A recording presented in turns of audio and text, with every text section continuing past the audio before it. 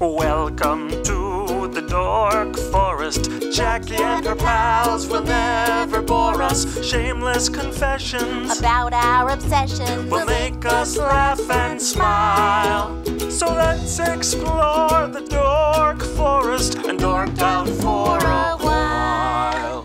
Hi, Rangers. It's me, Jackie Kashian. Welcome to the Dork Forest. It's 2024. Let's do this. Here's the credits, of course. Mike Ruekberg sang that song at the beginning, and he wrote that song, and he sang it with Sarah Cohen, his wife. And he will sing the Mexican hat dance at the end of the program. Also, Patrick Brady still putting this together video, audio, all of it. He's amazing. So, and Vilmos doing JackieKashianStore.com.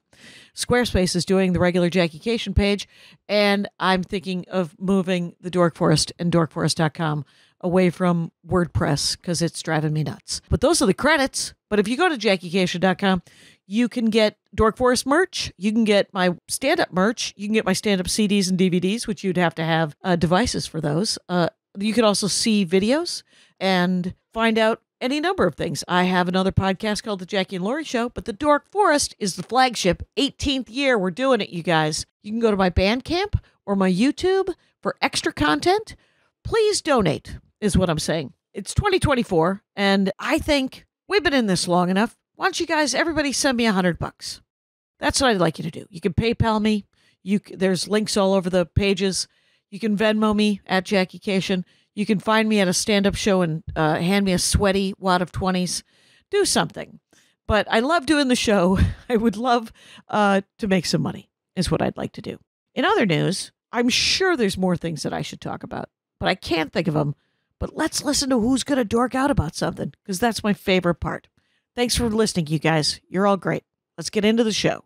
Rangers of the Dork Forest. I am in my living room. Living room? Garage. I've chosen to live in my garage now. No, this is my garage, and uh, and it's the uh, the Dork Forest. You've chosen wisely because this week's guest is Mat Alano Martin, stand-up comic from Bloomington, Indiana, who is uh, a genuine delight and a decent human being. And uh, you looking for a straight white guy to uh, to book? You don't have to book a douchebag. You could book Mat Alano Martin. He's and he's very funny, so it could all work out for you. Welcome to the show. I, I like in the list of credits that the, the I'm funny part is the least important, which I get. Honestly, it was top. It. It was it was top billing. Top billing. I would if you weren't funny, I wouldn't have brought it up. But because you were funny and you happen to be Yeah. uh, the sausage casing that you're wearing, uh, Mm-hmm. I I was like. Sometimes people just need and want to book a straight white guy, and I'm like, I I got no no problem with that. It'd be great if you mixed it up more, but if you gotta, Yeah, yeah, yeah. I was gonna say I don't think there's any shortage, but if there is ever a time in the future where there is a shortage of straight white guys, particularly with beards in comedy, Oh my then, god, uh, the beard. yeah. Are you doing you um I have to say that uh what mostly is happening with straight white guys that I don't want to be booked are the guys that are just uh douchebags, yes, right? They're just un they're they have other problems. Just because a booker thinks that they were that guy when they were in their 30s, hmm they're like, "But I want to book that guy cuz that's the guy I would have been if I would have been funnier or been a comic or been this." And you're like, then you would have been hard to hang out with as well, TJ Yeah. Miller. Yes. and uh, then you would have been someone I avoided. Walk and I walked out of green rooms, Jeff Ross. I can't, there's just like, there's people I don't want to hang out with. Yeah, no, I'm I'm with you, and and it- so it's it transcends all gender, I think, and and safety concerns. Uh, there is Sure. definitely, yeah. No, I'm I'm with you, and as we always say when we're looking at booking people for Limestone Comedy Festival, it's like there's plenty of nice ones out there. There's That's, never, there's and that was my point. Yeah. Catalano Martin, good one, nice one. Go with it. there's not a single comedian on the face of the planet that is so funny that it trumps you know crimes that they may have committed. uh, right. or What just- is it? Even if he's on time, even if he's on time, doesn't he? That's not going to do it. If he's Yeah. if he's reliable Mhm. and he's very funny and he's a horrible person, yeah, Yeah. you gotta. It's gotta. It's gotta lean towards. That's not majority rule. Yeah, exactly. So fair enough. So, Um, obviously, we're, our our dorkdom this week is about spilling that tea, our comedy gossip. We're only three minutes in. Are you kidding me? I spend most of this podcast talking about my random opinions. Hi, Rangers. You remember me. Anyway, Mat Alano Martin, by the way, uh, it's at Mat, M A T, just one T, correct? Correct. Alano, A L A N O, Martin, M A R T I N. And uh, if you go to his Instagram, is it is there a matalanomartin.com? There is uh, it's, it's uh, got hyphens in there all over the place though. So if you just Google my name, it's the easiest thing. Honestly, just It's the way to Google go. me. Yeah, What I'm what I'm gonna do is I'm gonna link you to his Instagram and then you can find everything from there. you can go from there. You're going to be in Chattanooga, uh, April 19 and 20 of 2024, and uh, people should come out and see that if they want to see it. Yeah, I'm first time at the Comedy Catch. I'm very excited. I've always heard good things about that club, and I love Oh, good. Tennessee. So yeah, All I don't. I don't love some of the legislation in Tennessee, but the people of Tennessee, good people. That's the way. I don't have to like the situation. I have to like myself in that situation. Ooh, that's that's uh, that's where I'm at. That's where I'm at with America. Yeah, So uh, I'm not that psyched, uh, but I'm okay with how I'm performing. you go. Anyway, I'm right. I'm right. I'm, I am the village. I will rise around you, uh, Matt. You Mm-hmm. like a video game so much. I love a video game. that you wanted to talk about a specific video game. That's and that right. video game is a franchise, if I remember correctly. Yes, it is. It's Tetris, and we're gonna go deep. It's got shapes. it's got vertical drops. Did you hear that somebody won? I did. I did see Yeah. that. Yeah, that's that not weird? actually. That's not actually my dork. I, I wouldn't be surprised if someone actually could talk an hour about Tetris. But Yeah. no, I am uh, obsessed with the video game series Fallout, uh, and I reached out to you because I've always wanted to do the podcast. And there was a TV show being made based on the video game series. I thought, Which oh, is this is hilarious. this is a Yeah. good uh, this is a good indicator. Is it more hilarious than them making a full length feature film based on Battleship? I don't think so. no, it's not any worse than making Pirates of the Caribbean. True. But uh, but it will continue to make me laugh. When when the media goes in that direction, it Mhm. always kind of makes me go, Oh, okay, it could go in either either direction. So Fallout, how Mhm. many are there now? Oh well, there's about five that are uh, considered canon, and then there were like uh, some spin-offs. Uh, the Okay. first two Fallout games were uh, role-playing, turn-based, uh, very low, you know, eight-bit graphic, very slow but fun which and interesting. For, for which Uh, platform? I think for primarily for PC at the time, but then I think they did Okay. have it ported out to consoles as well. I did not get on board until what's considered the modern era of Fallout, which is Fallout 3, which is then wherein like, you know, the graphics are a little bit better and the gameplay is a, not turn based. It's it's you know, it's in it's real like time. an open world, right? it's Or an it's an it's an open world and it's also it's technically kind of a first person shooter but the thing that really hooked me about it was uh, you did not have to be good at first person shooters to survive in this game okay, good to hear. Good to hear. because I'm bad at yeah. those. Uh, all Yeah. Gears of War and Metal Gear Solid and all that kind of stuff. I was terrible at first person shooters, uh, but this had a uh, device in it basically that would assist you in the first person shooting portion. But then you also had puzzle solving and exploration, and the lore was so deep. And it's just, it's just, it's, it's the best. It's the best video Okay. game. Yeah. yeah, and this one is 2008, Yes. Fallout 3. Fallout 3 is where it really starts to take off and is what's considered the modern era for the game. It's good. Uh, and then, because I think we had that one for the PS3 or PS4. I've, 2008, probably PS3. Yeah. PS3. And yeah, and um, do you start in a Fallout shelter? You do. So the the the lore, the world that this all takes place in is that uh, it's after a nuclear apocalypse. China and America get into a long, protracted, ten year long war over resources, essentially, uh, and then that escalates. We were to adorable in 2008. Nuclear. Yeah, it wasn't just us. yes, yeah, I know, and hard to believe America was kind of the good guy still in this version of the game. So then there, then there's nuclear war happens, and there were enough uh, sort of Fallout shelters, and so Fallout Three starts with you have lived your entire life in the shelter. Your dad is the doctor for that that Vault-Tec shelter, and then for some reason unbeknownst to you, he leaves in the middle of the night, and everybody starts going crazy, and so you leave to go after him. Because he was, was he the only doctor? He was, yeah, and that might have been why they were going crazy. Like, hey, we might need you. Yeah. And so then you are thrust out into the wastelands, uh, and you're trying to track down your father, and you're exploring and f- discovering that there are people that have been surviving outside of the vaults this entire time, trying to remake civilization, or Oh. also having like roaming gangs of different factions that arise, and then of course there's super mutants and monsters and mutated creatures and all the kinds of good fun stuff that you want in a sci-fi post-apocalyptic world. Right. Yes, Yeah. you do. Um, is there a scene in because I remember I think I watched Andy or my nephew play this, hmm and um, I just threw a set of keys at a door because Gordy was uh, digging up the thing I just planted. Oh Please, no! Oh, tiny yeah, dog, do not dig up my eggplant. If you I need put to, in half the garden. if you need to go save your eggplant, I can talk a little bit more about. Oh, you could talk amongst yourself. Oh yeah. but I didn't know that you'd be able to hear me throwing my keys at you, but you flinched. So uh, clearly, Mhm. uh, you heard. Uh, okay. well, that was just I thought you were trying to recreate the sound of the vault door opening. You know, just that would be more production than the show has had in 18 years. Uh, I will say that um, so they played this. There was a scene in it where someone, where a girl was was against a, a wall, and there were two tough guys giving Yes. her guff, Mhm. and that was in the and and TJ played it two different ways. The Yes. first time he played it, he didn't help her, and I gave him the stink eye.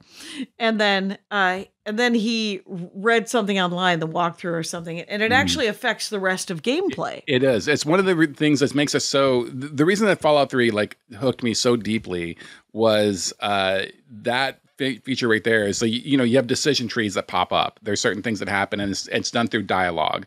You choose how you react to a situation through dialogue, and then if you have, you know, it's kind of like a role playing game where you can put a certain amount of points into different skill sets. You can be a very strong person, you can be a very smart person, or whatever, or more balanced Okay. if you're a very intelligent, very charismatic person, you have more options on the dialogue tree.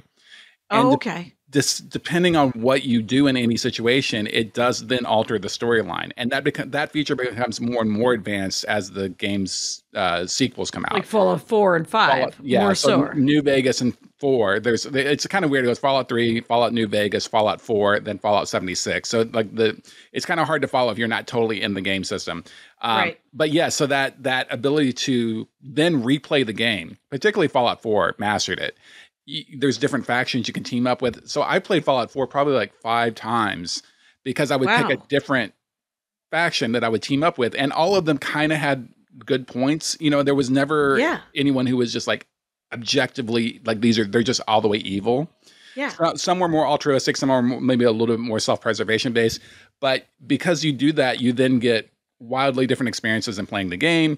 You can then also replay the games as okay, I played a really strong guy that likes to run up and punch people. Okay, now I'm going to be a very sneaky sniper person. You know, Mhm. it just has the re- the replayability of the game series was is one of the things that hooked me, and and the storyline is fun. Like they Mhm. don't take it too seriously. There's always like a weird dark sense of humor in all of the games. Oh, games. good. So even though it's apocalypse and you know like there's mutants and tons of death, you know it, there's a bunch of funny kind of I don't know like almost sardonic-y kind of stuff in it. It's great. Yeah. Spoiler alert. Does he Mhm. find his dad in the 2008 one? Uh, if you yes, and and uh, yeah, it- it's been out since 2008. I don't think we're spoiling much. yes, and your dad is voiced by Liam Neeson also in that game. Oh my And God. so that's Was a- he taken? Uh, Uh, yes, so- it, this is pre-taken. So like, this is when he was. This is like I think uh, post Rob Roy pre-taken. So Liam would need a little bit of money. Like, Right, right. He was in high spirits in 1990, 1989. Yeah. Oh my God! Is wait that's High Spirits? Is that with Dan Aykroyd? Uh, no, close though. It Okay. is with uh, Steve Guttenberg or Judd Reinhold, who I Judge Reinhold, who I get mixed up. Okay. All right. And uh, and then, but it's also with Peter O'Toole, okay. who also needed the money. Yes. But Steve Guttenberg and Morgan Fairchild and Daryl Hannah I think I do remember Liam this. Neeson. Yeah. and uh, it's terrible. Uh, I saw it 26 times because I worked at a movie theater in London, and um, it was soothing after a while. Wait, so in London, London- was dark. London, London, England. You worked at a movie theater in London, yeah. England. Why? Yes, you- Westchester. I was on an exchange program and I didn't do it well. Okay, you were in a like a, a movie theater exchange program. I was Like, in a and- university exchange program and I was allowed to get a job. oh, okay. and I didn't do it well at all. So Okay. uh, the two jobs I chose to get were the one at the youth hostel where I could drink, Mhm. and then I would help them serve breakfast and make beds, and then the movie theater where I could be hungover. And then uh, have free popcorn and work with weirdos, and then at nine o'clock go back to the youth hostel and drink, Mhm. and then wake up and work at the youth hostel, and then go to the movie theater, and then go back to the youth hostel. I spent three months doing this. This did, is. uh, did you ever go to class? It felt like what you as a it was, university. no, no, it wasn't. It wasn't a work an exchange. It was just a work exchange. Oh, it called, okay. It's called BUNAC, British University Nanner Nanner. I don't know what it was all stood for. all I know is I was very drunk yeah. at Alano Martin. Okay. And All right. um and I did not use it wisely. And I got to do stand up twice. yeah. And it was dumb. Okay. All right. Yeah, I, I do like your idea of, or you're pitching the fact that maybe this is another instance of uh, the Mandela effect. Is some people saw High Spirits with Steve Guttenberg, and some of them saw it with Judge Reinhold. I do like the idea. Yes, me too. I, I also like that idea. What um so but Liam Neeson Yes. uh is plays the dad. He's the voice of the dad, and uh, so he's got a lot of gravitas, you know. Mm-hmm. And you, what you discover is you discover the reason that he has left uh, is you find out that he actually uh, was outside of the vault and was an engineer that was working on a water pur- water purification system with his uh, wife, your mother, uh, when she was pregnant with you, and they went to the vault because it was unsafe to have a baby in the wasteland. And Sure. so you find out your whole life was a lie, essentially. You do track down your dad. Uh, basically, right when you find him, pretty much right after you find him, he gets killed. He sacrifices himself to stop the bad guys from getting the water purification system. And then it's a little bit more of a revenge tale slash finishing your father's work and getting this water water purification system up and running for the people in the wasteland to, to try to help them, you know, um, start life anew. Here's the thing. He doesn't want a certain faction to get the water purification system, I assume, Mhm. because then they will gouge people or charge or they will be the ones who will control the water. Yes, Now, exactly. Um but here's the thing about a water He's- purification. He's, Much trying, like he's trying to stop. He's trying to stop Nestle from He's, purchasing. he's trying to stop Nestle. But here's the thing about Nestle: uh, there will always be uh, Cascadian Farms or whatever. Like a, Mhm. like the once Pandora's box is open, Mhm. everyone will have the water purification system. Everyone will have the bomb. Yeah. So it's so it's interesting. In 2008, it was it was almost when they were starting to write video games like they cared, right? yeah, like prior prior to that it was it wasn't you know it was people wrote video games and they were like no it's fine it would Yeah. you know of, co- of course You- you're like but if you put any sense of into story. this you would go no way storyline. Yeah, because well, because they felt like I think they thought that storyline made a game not replayable. You know, Okay. like once you finish the story, then it's over. But if you write a good enough story, and also with the technology to to change up the way that you play it as you go through, and Yeah. you know, and there's a you know, Assassin's Creed has done this, and like the um, the Bioshock games are an amazing example of this too. Where if you have a good enough story, people will not care; they're still going to love it you know, and um, uh, the God of War series, I think, is like this too. Particularly the the new sort of reboot, the play, PlayStation Four, and like new Okay. the new new generation of God of War. The storylines are phenomenal in them. oh that's great Yeah, that's awesome. So yeah, this is at a time where it's and you know, Fallout Three was a massive, massive hit. It was a huge hit. Uh, it basically made that company Bethesda made, put them on the map. Um, and uh, and you know, and influenced a ton of uh, games. Now, the thing that's interesting about the series is you Fallout series is a lot like Star Wars, and the fact that no one hates Fallout more than Fallout fans. Okay. it's gone on long enough now that you can nitpick like the forums. People are just nitpicky about every little thing. you're like why they- are there even still fallout shelters Yeah. it's fallout 6 well, they're, but as the, the game goes on, you're not following the same storyline. That's what's great about it. So, in Fallout Three, you're set in Washington D.C., the capital wasteland. Um, that's, Okay. that's where that one is set. Uh, the next one, New Vegas, is set in Nevada, and Las Vegas was largely untouched. It didn't suffer any direct hits and things. So, like old Vegas is basically still standing. And so you have like a desert situation, and you play a completely different character, and it's happening, you know, 20 years down the line from the last game. But they just do this by like showing the way that um, different pockets of the U.S. like recovered and came back from this. Essentially, Okay. is kind of how they do it. Yeah. yeah so when you leave let's just do uh let's just sort of go uh, game by game. In Fallout Okay. 3, where Mhm. do you get the weapons? Oh, yes, Tyson, please go address whatever He your needs, needs no, are. he needs to Go. get that that eggplant. It's, Uh, uh, that's the other one. oh, okay. Uh, so, but here's the, here's so my question is Mhm. is where do they get the weapons? Does he get the his first weapons in the Fallout shelter? Yeah. So basically, and this is a, a great thing about the game too, is there's a there's a very big part of the game is about looting, where like you can literally Oh, every fun. single every single desk that you come across, every single locker, you can pretty much for the most part open up and find things, and a lot of it just seems like scrap materials that you can either then sell for cap. They use bottle caps as as currency in this Oh, game, so Yeah. as the game world. Um, but you also occasionally are like, oh well, here's a shovel. I can hit somebody with a shovel. And Oh, so your yeah. fir- your first weapons tend to be that kind of stuff. Oh, just Um, more and- clubs and yeah, and then you work your way up to like you know, and maybe you you beat you know you beat somebody up with your baseball bat, and they have a gun, and so then you take their gun. So there's a kind of a natural progression of how you get the weapons in most of the games. Um, You're not just you're not just handed a loadout like a you know like a uh, Gears of War, Modern Warfare. It's like.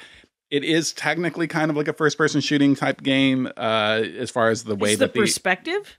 It, yeah? Yeah, for the most Okay. part. Yeah, you can change it to where you're looking over your shoulder, but it's very awkward to play that way. Um, Yeah. At least I feel like that. But that's one of the things I did want to talk about. The thing that really hooked me, because if it was a standard like FPS, I probably would have not stayed in it very long because I'm bad at those. But it had a Mhm. system called VATS, which was stood for Vault-Tec, which is a company inside the game, uh, assisted targeting system. And in Fallout 3, when you activate and you activate that, it stops everything. And so then you can target what part of the person you want to shoot, and I'll show you a percentage of like Oh. how likely you are to hit that part of their body. But it completely Okay. freezes time, and so if you're getting rushed, you can stop the monster rushing you. and Yes. and, target it. So yes, it- that's it- what it is. It's Yes. it's it's the real time part of it that I don't enjoy exactly. because I'm not good at it. yes, Yeah. And so it made it way, way more playable for someone who isn't great at that type of video game. And they have since adjusted it so the VATS doesn't completely stop time, it just slows time down. Okay. And so they're still So it coming makes it a little you. bit harder. It's a little bit harder, but if you've played Fallout 3 and you've played long enough now, you kind of have a sense of, okay, I'm a little bit better at the controls.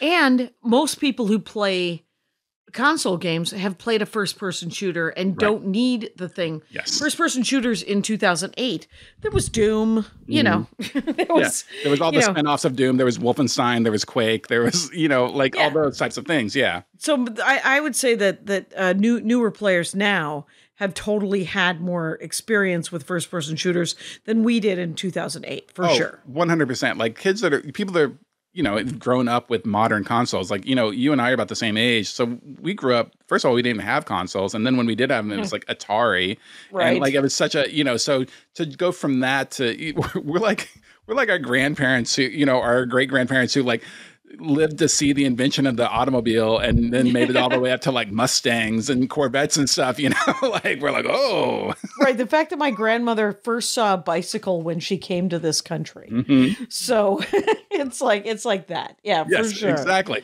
So, uh, but that system basically made the game playable for me enough that then I could really get into it. And again, like I said, the lore is really great, and you spend a lot of time just exploring and discovering the storyline by reading old computer monitors, finding notes, logs Okay. of things. So you re- and they put so much care into that. Uh, which is so smart too, because also that graphically and like power wise doesn't take much for a video game to have. You know, No, no, it doesn't. It doesn't cost them a lot of speed, or, but it does. Co- it, it is one of the reasons why those video games take three years to make. yes, yes. But it does also add to the replayability. Uh, One hundred percent.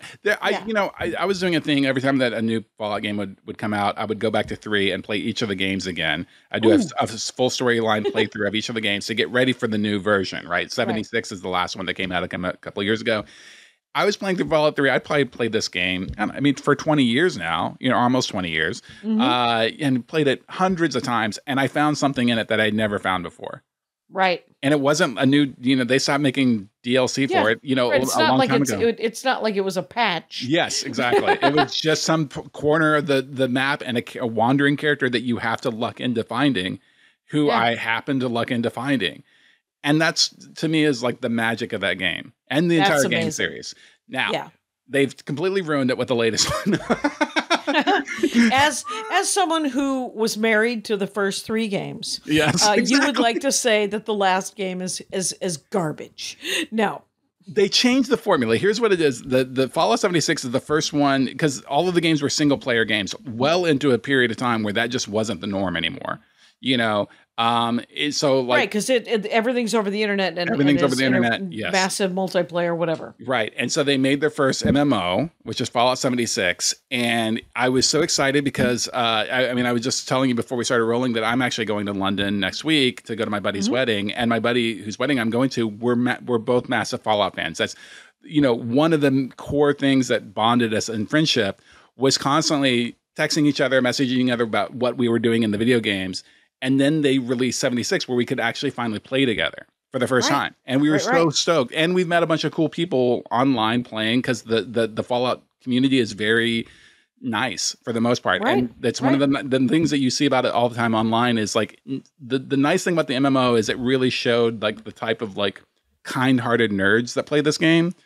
Yeah, it doesn't have to be trash talk. And, Yeah. and yeah, It's not that, and there's there's a whole system of basically always helping new. If you see players that have very low lev- levels, you know, Yeah.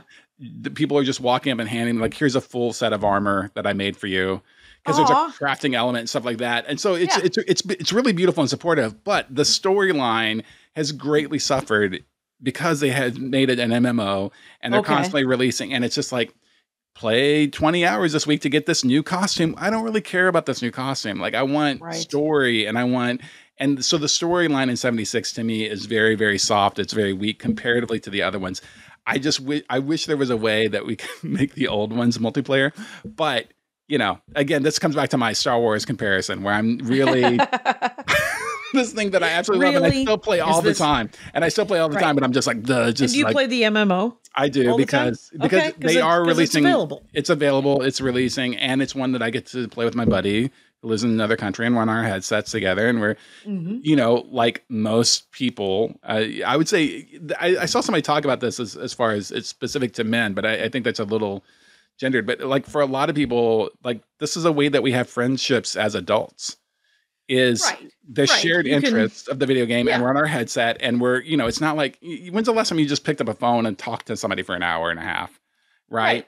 Right, and you can, and you end up, you don't just talk about the game. No, of I course. mean, you talk about the, the game, last and then thing we're just, talking about.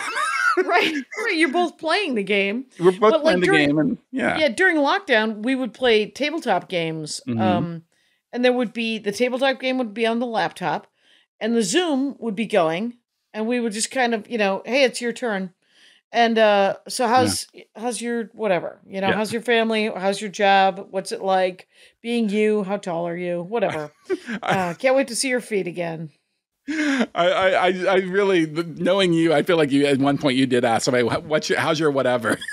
Like, How's your whatever? the classic Jackie question. How's your whatever? A, well, because then they can pick. Then they can Exactly. pick what they want to talk about. Don't- They don't Just have to talk about. fill, fill in the blank here with whatever Yeah. you want to talk about. exactly.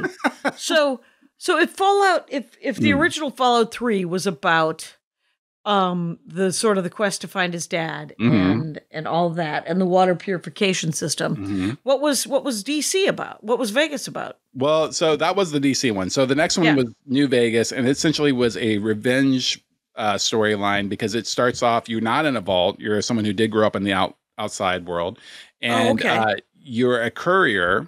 And it, you basically you get killed in the very first sequence. Someone shoots you and leaves you for dead in a shallow grave.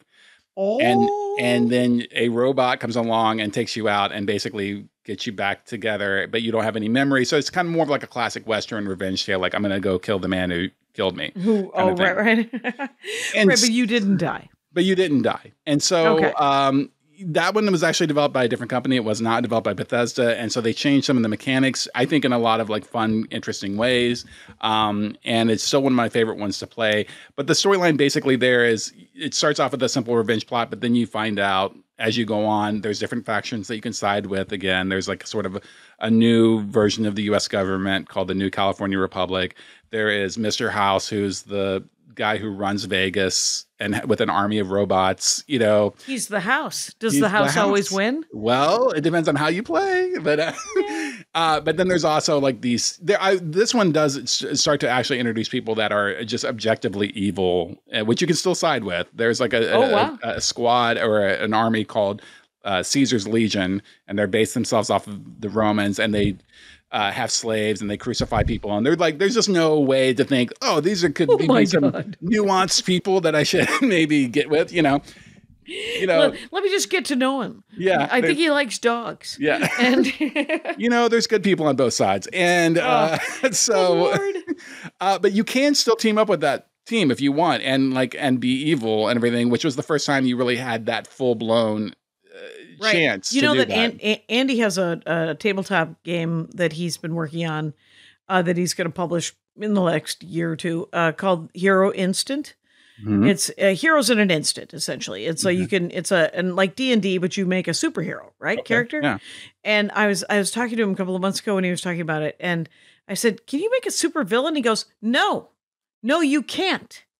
You can only be heroes, and the GM or the uh, the DM, whoever is running it, they make the bad guys that you fight. Yeah. that is all. You Okay. are a hero. Okay." And I was like, "Okay." No, I'm with that. I like I. Like I feel like if there's ever like a World War II type game and someone selects to be the Nazis, they should what should it should immediately brick their game system. Right. Just and like send oh, somebody over. Social yeah, bees. Social worker bees. Yeah. It's uh yeah, the uh it's so funny because um yeah, the to be the to uh yeah, I forgot what I was gonna say. God dang it. Yeah. All right. Be good, everybody. be good. I also good. like the idea of instant heroes because it sounds like they're like they're just like powdered heroes that you pour into hot water and then That's like it. boom, instant heroes. What do you what do you want to be? You want to be Superman? You want to be Yeah. the Flash? You want to be uh you want to be Captain America? Mhm. Uh, uh I'm actually uh an HR psychic. I'm a Okay. psychic who uh, Mrs. Kravitz is my name. And and uh, and I have uh, psychic powers, Mhm. and uh, I'm I'm of great use to the team because we can all just talk to each other because I can connect people Oh, that's good. Yeah. I was gonna say that's also really good for HR too. Like not much investigating. You just already know what the oh, violations I, were. yeah, I know what the violation was and how you shouldn't. Uh, he the uh, she shouldn't have done that. Yeah. yeah. And uh, yeah. So uh, Andy, by the way, did work on God of War two and three. That Oh, was, that's Uh, great. those are the famous games that he worked. Yeah. on. Everything And else was not famous. was was he working on storyline and game design or what was he doing? Mostly cameras. He told me. Okay. Okay. All right. He's part of the tech team, I think. Okay. Well, very cool. Well, he did a great job because they're great games. So, Tom, good job from me. Uh, So yeah, so in Vegas, so you play a different character. You're Mhm. outside. you're playing a entirely different character. Uh, a robot has saved you. Mhm. You have to dash off and find your killer, Mhm. and then, but the game mechanics you said are slightly different. Well, it's the the playability and everything is still the same, but they just added elements to it. And this is going really down the rabbit hole of nerdiness Yes, here. But um, you know, in the Fallout Three, if you were to repair your gun, you had to uh, you had to have the exact ta same type of gun to scrap for Yeah. parts. In New Vegas, what they allowed you to do is like everything was more realistic to the real world. In the fact that you could take things apart and like, okay, this one also has pins and gears and this amount of steel and this amount of wood in it. So you could scrap certain types of weapons or armor and then use the raw materials to then upgrade your gun or repair your gun or repair your armor. And so, So, do, do, does all of Fallout have that sort of? You said it had a crafting angle to it. yes, yeah, and it's only gotten more and more so as it's gone on. Yeah, so Do you have to hide from the bad guys while you're crafting? Oh yeah, yeah. If someone kind I of comes mean- up and shoots you while you're on a crafting table, it's not good because you're yeah, that's you're locked in as a player you're locked in and all of Yeah. a sudden you just you know your your your controller is vibrating because someone's shooting you in the butt or whatever right. and you're, So like, you're like- no, no, wait. Yeah, wait, I was, I I was was, just- I was I was trying to build exactly this birdhouse. I was looking for the perfect thing. Birdhouse is it. By the way, I am talking with Mat Alano Martin. It is M A T A L A N O Martin M A R T I N, and that's his Instagram. And he's going to be in Chattanooga in a couple of weeks. Uh, and uh, he's a great comic. And we're talking about Fallout, the game Fallout, series. The game series. I and because I know we, we only have an hour, so I do I want to make sure I get the other goodness in Oh, Please there. do. Yeah. So Fallout 4 is, I think, the most interesting of the game series. Now, again, chronologically, it goes Fallout 3, it goes New Vegas. Fallout 4 is Bethesda comes back into the picture. They take back the property. Um, Obsidian is the company that made New Vegas, and they've made some great games over the years, too. Obsidian has. Uh, but Fallout 4 is set in uh, Boston, essentially. Uh, it's Okay. called the Commonwealth. And what's so amazing, these games do such a great job of recreating the environment that you're in. And this is no different than, you know, like a, a Grand Theft Auto or somebody else that does this, but because they're set in real world locations, it's just post apocalypse, you know, nuclear. And Boston was not hit directly. And so a lot of the buildings are still basically there. You can actually walk the Freedom Trail. And what Oh, was wow. crazy, yeah, what was crazy was like maybe like five or six months after the game came out, Denise and I happened to go to Boston anyway. We already had a trip planned for Boston, and then I basically get we walked the Freedom Trail, and I'm walking through what I'm walking through in the game. This is very, very, Right. very cool. You right, know, right, right. I've Um, done that with um with uh with there's driving games. There's that that you uh Cruis'n USA. yeah, yeah. Cruis'n USA, and you're like, wait a minute. L.A. Noire. I don't know if you ever played Oh, L.A. yes, Noir. Yeah, yeah, yeah, yeah, yeah. yeah. no, that is a fun thing when they really, really get it right, and that's one thing the Fallout series has done. That's 76 particularly has nailed it because 76 is set more rurally. It's set in West Virginia. Okay. and um so uh there are people that have sent pictures in like uh, there's you know there's like a little town you go into like Havel- Helvetia um Right. And people have been like by the way i live 20 minutes from Helvetia so i drove over and took pictures and they're posting in like the forums and it's like oh shit they nailed it like they Right. brick for brick recreated this town um That's awesome. Fallout 4 is amazing because the storyline with that one is you are in a vault and um, you kind of come to out of your like you're kind of cryo sleeping, which is unusual for the vault Okay. series. And someone basically you're there with your spouse and you can choose to be you you know at the beginning of the game you pick if you're going to be a man or a woman and so then it flips it to however because it's still very uh, heteronormative. But anyway, There you go. uh, But- so, Warning, Yes. warning for those who don't. But maybe you could just play the game and uh, have a pretend moment. there you go. I, but I could be a boy, right? I could, be, could a boy. yes, yeah. there you go. Yeah. So at least for right now, you will see if like legislation gets passed that you have to play the gender. all video games you have to play. Oh, that I was assigned at birth. Yes, exactly. so you have to scan in your birth Snoopy. certificate. I was to- assigned Snoopy. so, Um, but anyway, so someone basically these bandits break into the the the vault and they steal your kid. They they murder your spouse and steal your kid. oh, and then you get frozen again, and then you come out, and so now you're trying to track down your kid. And Okay. um, how long's the- it been? Well, at first you don't think it's been that long, but then you discover it's been like uh, seventy years. So you do find your you do find your kid, and he's an old man now, and he's the head of this thing called uh, oh, what did they what, uh, the institute. Okay. And, and the institute is basically making uh, synthetic humans Ooh. and they're like the super pro science, pro futuristic. And then there's you know uh, a couple different factions that are anti that human? uh, like well, like robots that look like ro- basically more like um, Blade Runner type Oh, okay. sense. Oh, right, Yeah, right. like that. Um, and so, and then you have like uh, you have like the freedom fighters that are trying to like do synth liberation, and then you have like a paramilitary force that wants to wipe them out. But I just that one has the most radically different shifting storyline depending on who you team up with. And so Oh, it's great. It's great. And they, they take the crafting to a new level. You can now start to build like your little campsite areas with like more and more complex with buildings and, and things like that. And to me, it's like the one that really has so far been like the best one so far. So it's just, That's your Fallout 4 exciting. is your favorite one. yes, probably. So far. Yeah. Yes. Okay. And then 76 is the MMO and Right. looks good because, you know, the, we got more technology. So the graphics are better. You know, it's a very, it's not as And they're still doing it. They're Yeah. still doing it, and they're releasing Where's it new set? content. It's set. That's the one that's set in West Virginia, so it's more Oh, rural, right. Mhm. and it's also the earliest chrono- chronologically in the the timeline of the game series because it's only like 56 years after the bombs have dropped, oh. as opposed to like 200 years and things like that, like the other ones yeah, are. yeah. Yeah, and yeah. so, uh, yeah, so the, this, the world is a little bit different. It hasn't like these these these massive groups of like paramilitary new governments have not risen up yet.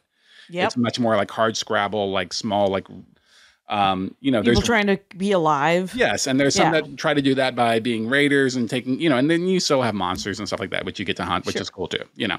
But it's it's a great game series, and I am hoping that I can stay alive until the next one goes out.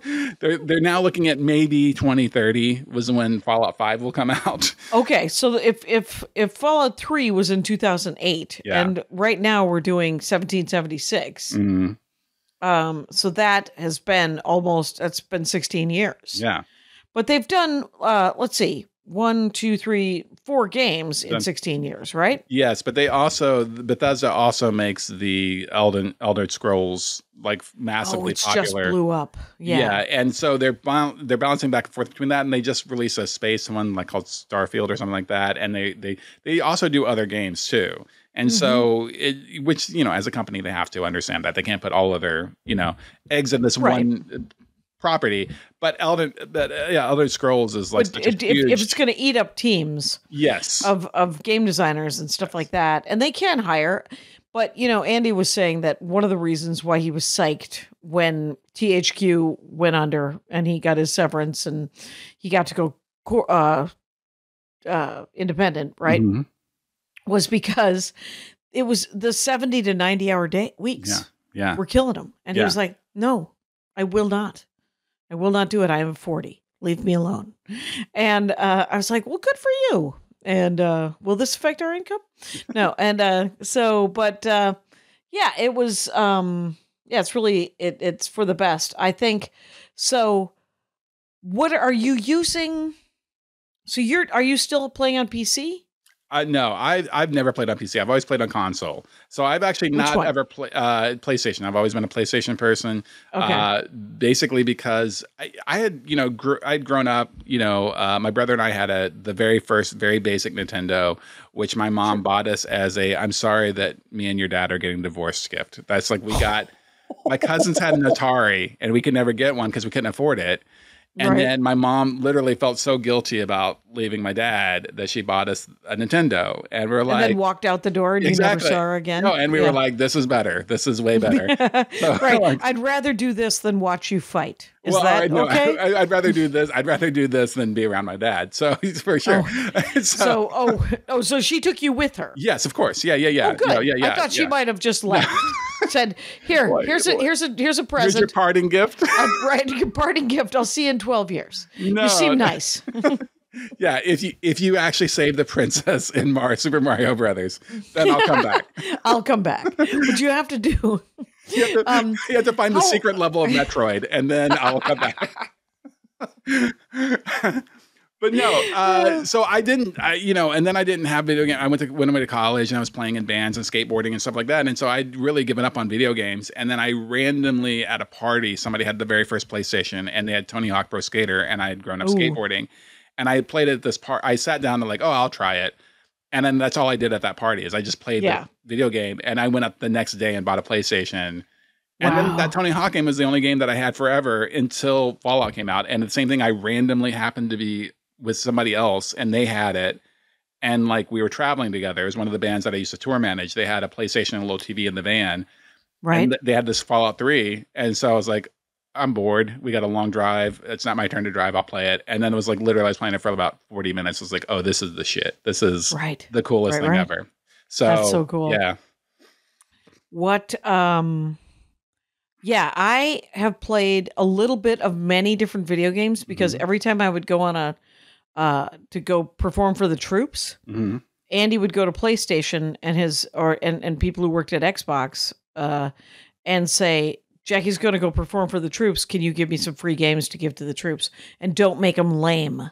Yeah. And so we got um like that brand new Spider-Man game for PS4. Oh, yeah, yeah, yeah. Like that was 5 years ago, right? Because uh it was pre-COVID, pre Yeah. But it's still amazing. It's still amazing. Yeah, it's still amazing and I've never I've never been able to beat the level 1 Yeah. because here's here's my thing about video games and I've said it before. I mean everyone is I play uprights.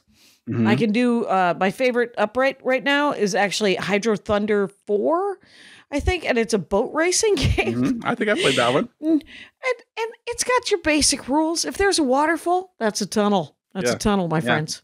Something's hiding behind that. Yeah. Anyway, um, but and then um, and then I play a, a couple of games on my phone, right? Mhm. And but we have these systems. Like I during lockdown, I played Animal Crossing. and I have a Switch, Mhm. um, and I just I uh, I just know that if I st- we only have we have the one TV, so I could play on the on the on the handheld the Switch, but I also know that I might want to read a book or Right. go do stand up comedy. That's the reason I never got a Switch or the PlayStation version was called a PSP.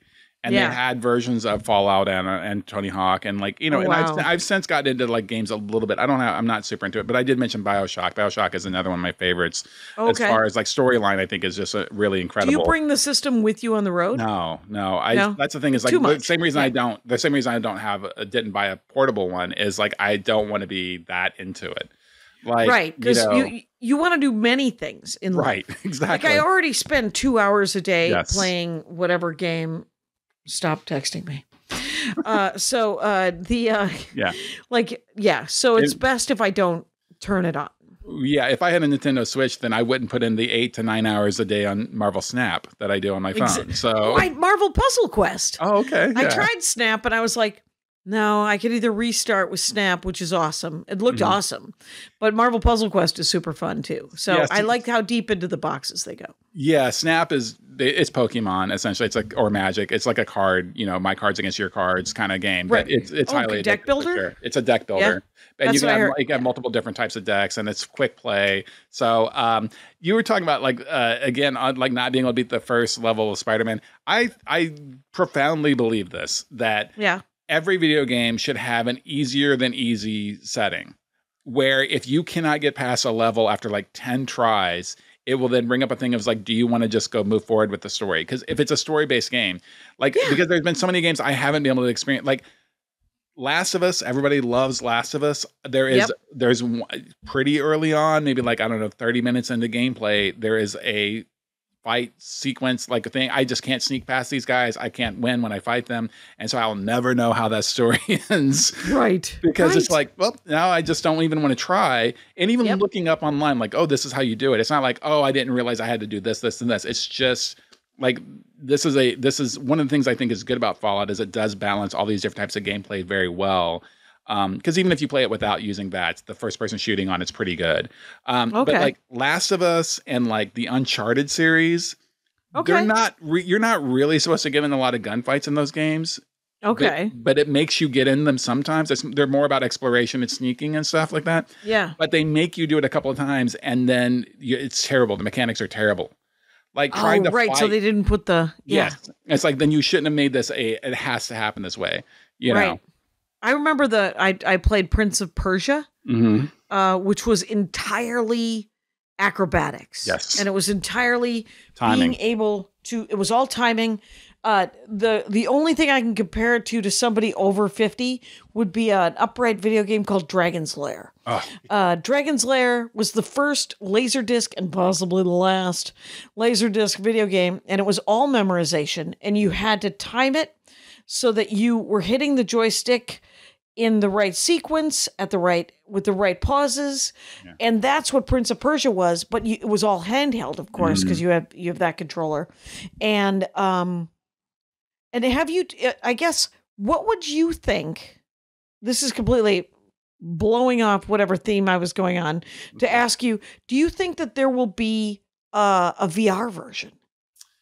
I, you know, Like, how there- cool would that be, I think there, of? I think there was one. I think if I'm not mistaken, I think there was a VR version of Fallout. Uh, because I, I'm pretty sure that there was. I want to Google it real quick. Um, I don't know how interested I am in that because I don't know. I've I've tried out some VR goggle things and it's cool. You know, Yeah. it's definitely interesting, but it's like it's not. I, when I play video games, like it's the same reason why I want to be able to skip forward to the next section of the story and play that level. Yeah. It's like I'm not trying to prove something to myself or my, you know, like I'm not trying to make my dad proud, you know, like look what I did on this video. It's like I don't, I just want to experience a storyline. And so the same thing with like the, a, a virtual like being inside the world. I don't even know if I need that. I'm okay being separate from the world on my couch. okay. Oh, fair like enough. Watching it, Um, and you know, But what if there was a VR program where you could play catch with your dad? what about that? What if it healed everything? You know, Um, uh, I've, I've heard the technicians have tried and they just can't get it right. It just doesn't feel realistic. I did. The last time I visited my dad, we, he wanted to go to this Goodwill, and there was a football sitting there, and I said, "Dad, can we play catch for a second? Because I think it'll heal something." And he was like, "What?" And I said, "I threw him the football. He's 86, and he caught it, and then he threw it back to me, and I was like, "See, did that hurt? No. Look, No. I'm all better now." And uh, uh, I just googled. There is a v- VR version, and it's of Fallout 4. They made a VR version of Fallout 4. which you- said was kind of the It's- best one. It's it's my personal favorite. There, I mean, the, it's hard to beat the third, the Fallout 3. Fallout, there's there's some kind of weird magic There about could be no 3. empire without Right, Star exactly. Wars. Exactly. Yes. Yeah. Yeah. But So- um, yeah, I do think that four, if I had to rank them, four would probably be my favorite, which is not not the usual ranking, I don't think, by most people. But for me, it's great. So uh, I'm still not going to do it. I'm not going to buy a headset. I'm not. Gonna I know that you were. But you don't have thirty five hundred dollars to buy the new Apple headset. I do not. I do Uh, not. Oddly enough, Have you seen and- the thing where people are wearing those in the front row of comedy shows and stuff? no. What? Yeah. Yeah. There was somebody I saw a reel. Somebody. It was you know it was a, they were Was doing it Mike work. Drucker? I can't Uh, remember. he but, did a Dork Forest about VR and how much he fuck freaking loves it. So Well, no, it was there was someone in the front row that had it, and like so the comic's like, "What are you doing?" Them? The guy's like, "I can see." He's like, "I can see you." He's like, "I'm," you know, he's like, "I'm watching the show and everything. I'm not watching something else." And and so the comic was just like, "Oh, can I just can I just see? Can I just see what it looks like?" And so he gets the guy, and then the comic just runs off stage real quick, like as a joke, like, Yeah. "Ah, I got your four thousand dollar headband." I wish I could remember who it was, but it was just some random reel on Instagram. But Right, right. anyway, uh, Rangers and my friend Jackie. This uh, I love Yes. Fallout, and then they made a TV show about it that's coming out on Amazon Prime. right, starring- right. Did you see the uh, Did you see the trailer for Yes, it? Yes, I did. Of course. What are you talking about? Yes, of course. I got a Yeah, many notification. times, many yes, I've watched it several times, and I'm very excited about it because I think the Amazon Prime shows in general are very good. Um, Yeah. I, I loved their version of Good Omens. Uh, like I feel like Reacher. Yeah, Reacher. I- they stuck the landing on Jack Reacher. Now, see, I was led to believe that Jack Reacher was four foot seven because I grew up on the Tom Cruise Reacher. oh my God, the fury of everyone who's ever read a Reacher novel right now. They're so psyched because the guy who plays the Reacher, Mhm. he has always been a big guy, but he's bulked up and everything and become much taller. I have no idea what he did, but uh, whatever it was, but he's a gorilla. Yeah. the dude is a silverback gorilla in uh, a t-shirt and a pair of jeans, Yeah. and he Some- owns an ATM machine. Sometimes a T-shirt. Yeah. uh, just a well, and he he was on one of the talk shows that my mom-in-law was watching, and he ri- he there's a scene in the first season where they zip tie him, hmm and he breaks the zip ties, hmm and he did it on the TV. He did it on the game show too. He was like, or the talk show. He was like. Oh yeah, that's I could actually do that, and um, and then he did it. He could break zip ties. Yeah. Oh my God. I did see a great uh, critique of the Reacher, that series. It's like, it's like Reacher is a, a series about a man who solves all of his problems by simply being larger than everyone else. right. no matter One what the problem is, it's solved by the fact that he is much bigger. right and i mean what I, I think the real premise of the of the entire show is wouldn't it be great if someone who had this kind of power wasn't horrible yay Yeah. and would use his powers for good and he uh, he's he's it's ju- it's just a western right like he comes to town It's, kung fu, right? Basically, it's he goes kung from town to town. Yeah. it's the hulk Mhm. it's all of the things to where he Heaven. Poker face highway to heaven Mm-hmm. like it's the thing where they come to town and and like he'll see something and then he'll just pick somebody up and either break them in half and literally kill them Mhm. which i mean and i've read probably a half a dozen reacher novels because they're perfect for the road by the way Mhm. and what my mother-in-law my uh chris's wife who has pa- since passed she Mhm. turned me on to them and i'm like okay and um i will say that uh it is it is ridiculous Yeah. so uh, but here's my question which plot of fallout are they doing for the amazon prime They wrote a new one. Uh, and Todd Todd Howard is like the main guy at Bethesda. He's he's the George Lucas to the Fallout fans as far as like loving slash deriding him. Like there really is that same sort of relationship. Mm-hmm. What's Um, his name? His name's Todd Howard, and he's the CEO of uh, Bethesda. I believe that's his name. He's the main. He's like the main director of the games, right? Of, that they put out. He's like Yeah. make sure he's like the showrunner for all the games, essentially. Um, and so he has not revealed much, but he's like, it's a brand new storyline. They're not taking it's it's set in a new location, so they're not recreating anything from the games. But he's Okay. also said it's not going to build much on the lore of the games. Like it's going to be more of like it's a standalone. Like it's in the world. Oh, it'll reinvent itself just in that world. Yeah, Okay. and there there are going to be some of the like we already see in the trailer that the Brotherhood of Steel, which is like a the military-ish kind of like the new military uh, for the U.S. government, essentially. Um, they they show up in the trailer, and it, it does follow a like vault dweller who's leaving the vault and experiencing. So you get that same experience that you get from Fallout Three, particularly.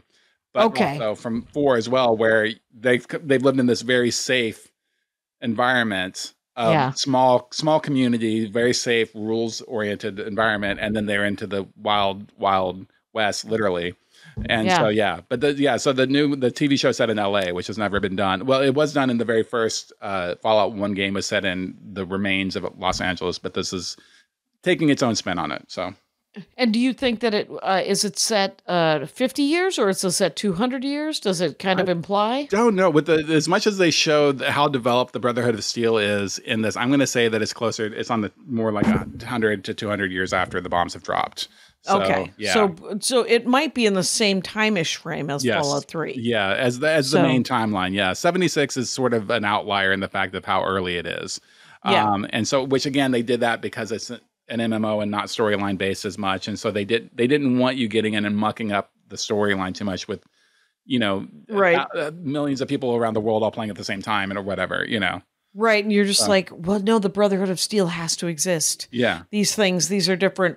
They're organizations, right? So the Mm-hmm. Brotherhood of Steel is some sort of mercenary group that is. they're more like the they're more like uh, the U.S. military. Essentially, they're Oh. they're, they're more an author- they're an authoritarian military, and then there's also the Enclave, which is uh, the uh, the sort of insidious evil like uh, people from the the bureaucrats, the high ups in the U.S. government that survived, and that you find out were profit profiting off of the war hysteria leading up to the war, and they basically Mm-hmm. sacrificed the the planet to make money and to try, as a way to try to also get control. Like if we destroy the world, then they can come out and and so there are two opposing military factions, essentially the Enclave and Brotherhood of Steel, and then you got like more like kind of you know uh, militia type, you know, Mhm, or like mhm. Minutemen. There's literally the Minutemen and the Boston one. In Fallout Okay. 4. So there's a lot That of different sense. factions there, but in the series, it looks like the Brotherhood of Steel is definitely showing up. I don't know if that means the Enclave is definitely is going to show up or not, but you're going to have,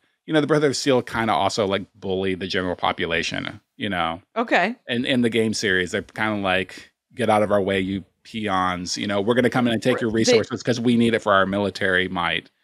Right. know, right. so. They're they're essentially they're the worst part of government. Exactly. Yeah. so, um, rivaled only by the best part of government, which creates uh, education. Which it seemed like the Vault had education, a The lot of had, education. the Vault had uh, a thing called uh, the GOAT, which was the uh, generalized, uh, what was it, uh, occupational a- aptitude test, I think is what it is, stands Okay. for. But it's like you have to answer these questions, and it's how you do sort of your character development at the beginning of the game of Fallout 3. And so Okay. that, the scene that you you were describing where the two guys were bullying the girl, that happens when you're still in the vault of teenage age. And you Yep. take, they're all getting ready to go take the goat together to find out Okay. who- who's going to be a janitor, who's going to be an overseer, who's going to be a teacher, things like that. So, wow. I bet you there was some definitely some nepotism. oh, probably. uh, and uh, probably some even some cronyism. Uh, the isms are out there. They Mat Alano, are. They really are. And uh, we are uh, we're a couple of minutes left in the Okay. show, so um, you don't know. Like, did Fallout? Did this new one, which I think is Fallout Four, is the one that we're on right now? Is that 70, the new one? 76 is the Oh, newest one. 76 is the newest one. That's Yeah. the MMO. Yeah. Yep. And how long has that been out? It's been out for a little over two years now. Um, Okay. And so, uh, So there right? might, and, Yeah. and they think, and they don't think it's till uh, 2030 for the next well, one. they're continuing to put resources into 76. They- Like it, Okay. they, they really, it's like a lot of MMOs that will have a season, game seasons Right. where you have like a game map that you try to, you know, you, if you go up 100 levels what, during the season period and you get Right. rewards for every level that you go up and there's like a loose storyline they have released some dlc which is Fine DLC? uh, downloadable content and so basically it's in in the mmo world it's just kind of like oh, well here's a new sort of main storyline quest but it's not that Okay. long and it's not that involved but or it might have a couple of new locations that were not didn't exist before on the map Okay. previously in Fallout uh, 4 and Fallout New Vegas, the DLC was radically different and took you to entirely di- new parts of the world, essentially of, of America, and you got a very different like. And some of them were kooky. Like one of the DLCs, you get kidnapped by aliens, so you have to battle your way off of an alien spaceship. Like they Okay. get kind of they get fun and weird with it and stuff. Yeah. The the DLCs for the MMO, for in my opinion, have just been kind of underwhelming. It's just been kind of like, oh, that was a storyline that took me 25 minutes to play and that was the whole DLC. Mhm. You know, so it's just not as interesting and and and Yeah. engaging as the single player mode was. So, Yeah, but Fair enough. they're still putting money into it and yeah, the the next Fallout 5 um, which they have not committed whether or not it's going to be back to single player or not. Um, they are shooting at like yeah 2030 because they've got these other properties that they're working on too.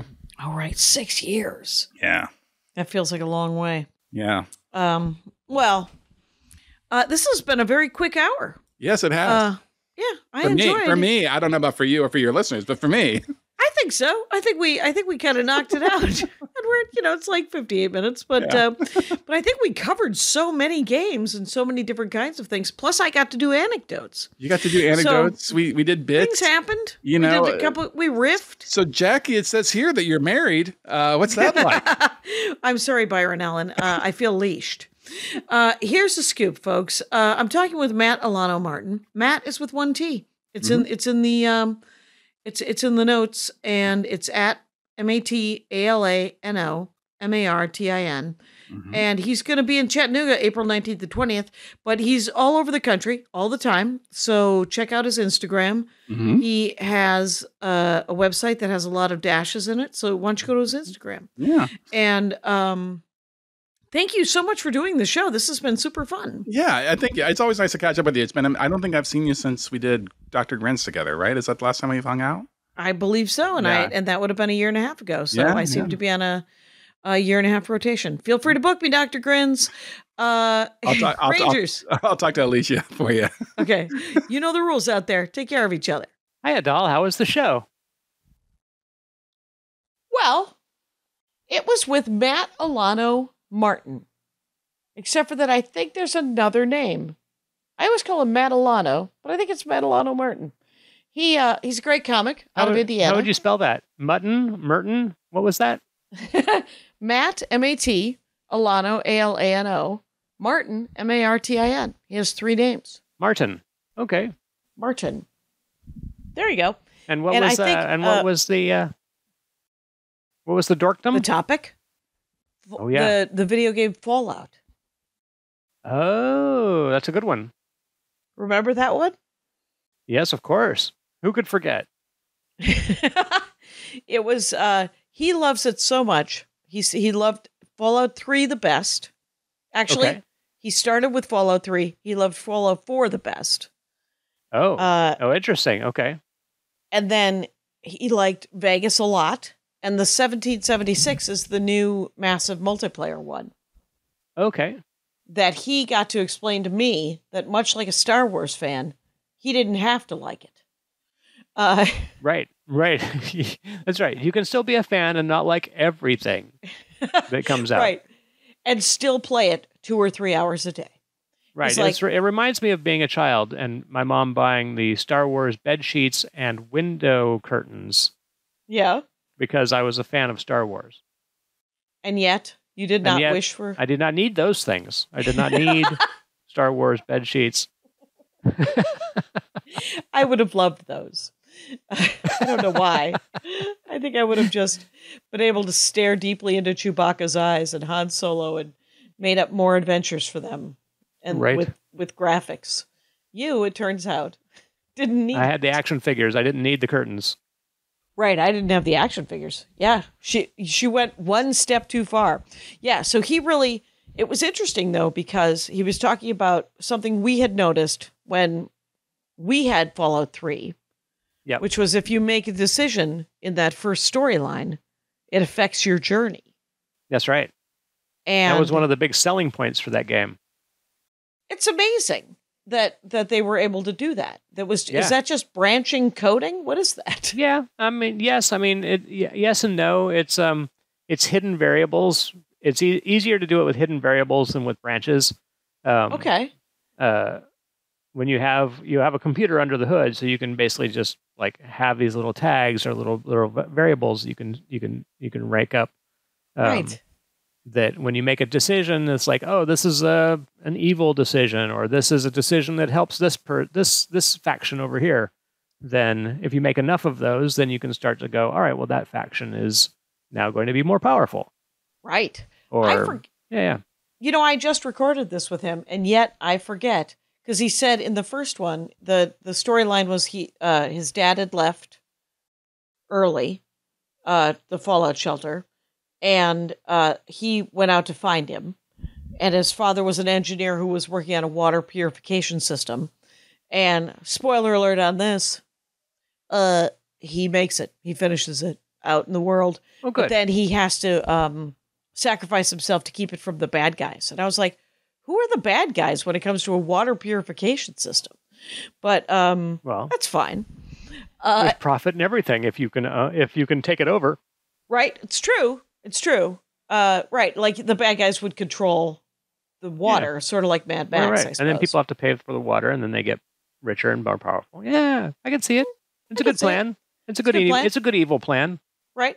And then um, the next one, the Vegas one, I guess you could join the factions, and some of them are literally evil, and you're like, Yes, you can't really justify joining that that faction, but okay, but sure. yeah, fine. right? They're, they're, ma- it's the Brotherhood of Evil Mutants. They call themselves evil. They're they don't. Yeah, fine. right. And then 1776, he said, doesn't have the good the good storyline because it's got to do this multiplayer thing, and they didn't want to mess with canon. Right. And they also said uh, that that the the company is not going to come out with the next Fallout game till uh, 2030. Wow. All right. So- All yeah. right. So they're they- they're planning ahead. Right. I think they the same company did Elder Scrolls, and that blew up. Oh yeah, I think so. So, um, Um, they have. yeah, and and and and the latest Baldur's Gate took eight, eight years to make. So oh, people are it? like, okay, I guess these big games like this can take this long, and people and it's not and it's not terrible. right. and, People are know- sad, but they're in. right, right. They're in, and and and and they they don't have time to get bored of the franchise.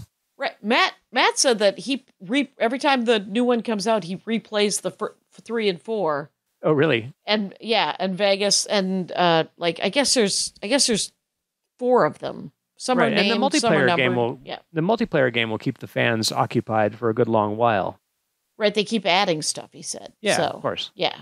Um, but uh, I like I like him. Uh, I like Mat Alano Martin, Oh yeah. who I call Mat Alano more than anything, and uh, and so.